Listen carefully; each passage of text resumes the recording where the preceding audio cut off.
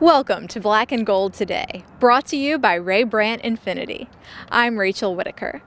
The Ravens invade the Mercedes Benz Superdome on Monday, coming off a bye. Under coach Jim Harbaugh, they're 5 and 1 after an off week. So the Saints hope to buck that trend with a little extra motivation since Drew Brees has never beaten Baltimore. Brees talked about their defense on Thursday. Any anytime you play as physical a front as this is, you know, I, I mean, historically they've really prided themselves on really being great against the run and then getting pressure on the quarterback. And um, not many defenses do you see that can do both as well as, as these guys can do it. With Brandin Cooks now on injured reserve, it's time for other Saints receivers to step up, also in punt returns. The Saints signed rookie Jalen Saunders this week as insurance. Then, of course, there's Kenny Stills and even Joe Morgan. Well, it falls on, and, and this has happened to us before with regards to a number of different players, and it falls on the, the rest of the group, you know, in picking up his touches. You know, so it's the receivers, the running backs, candidates that uh, would be doing some of the same thing, mostly the receivers. Sean, we've seen Cadet and Joe Morgan return punts in preseasons past. Are those among other candidates? Those are a handful. Kenny Stills, all those guys, uh, uh, you know, work it every day and practice at it. Check NOLA.com for more roster updates. And finally, the Saints can't seem to avoid former Carolina wideout Steve Smith. He's a Raven now, after 13 seasons in Carolina, and he's already got 400 yard games. Sean Payton joked he has flowers waiting for when Smith retires.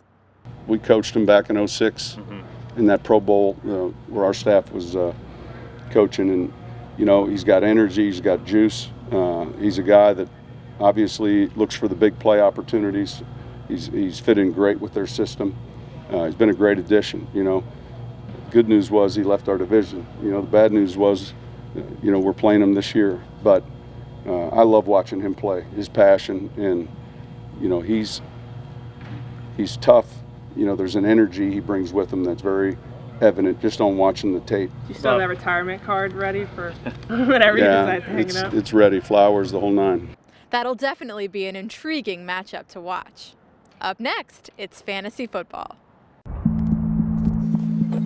In the fraction of time we spend driving in reverse, about half a million accidents occur each year, which is why the Infiniti QX60 has world's first safety technology available, like backup collision intervention, which can brake even before you do, to help keep everyone safe.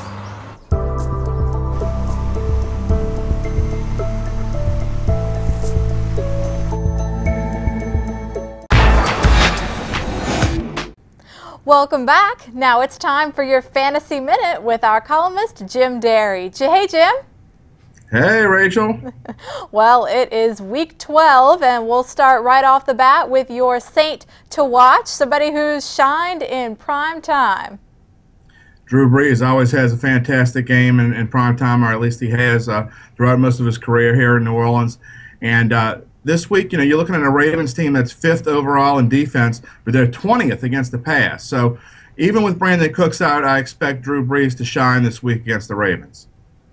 And a pickup of the week, if uh, people are still looking at some players to pick up, uh, somebody from New England, a running back who just came out of nowhere with four rushing touchdowns. And who would yeah, that be? Who had heard of Jonas Gray before this week? I, I, will tell you, I certainly hadn't. So, no. uh, you know, he rushed for 201 yards and uh, four touchdowns after having no touchdowns prior to that. So, hey, if he's still available in your league and you need a running back to fill in, uh, you got to think Bill Belichick's going to give him the ball and, and give him some more chances. Right. He certainly did come out, come out of nowhere, over 200 yards, like you said, uh, against the Colts. So we'll see if he can follow that up with another good night. Well, Jim, thanks a lot. Appreciate it. Good to see you. We'll do it again next week. Sounds great. And thanks for watching, everybody. We'll see you Friday.